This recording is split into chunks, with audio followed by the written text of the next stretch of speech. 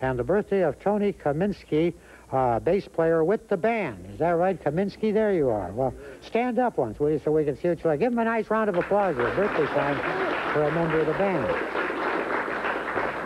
The reason that, uh, I don't know how old you are, what the birthday is, but the reason I pay special attention to you is that most people are in the habit of shooting the bass player, so they don't live very long. But you're an, you're an extra special type. Also, let's do this for the birthday of Mrs. Audrey Jerome Hacker of New Ulm on August 15th, and uh, Mrs. Lois Kirchard of Madelia. uh, Kurt, Kurt of Madelia, whose birthday is also on the 15th. This is by Junie and Christie, so we're happy to send out those greetings. Okay, let's get hooleries going here now. It's always nice to listen to a hoolerie.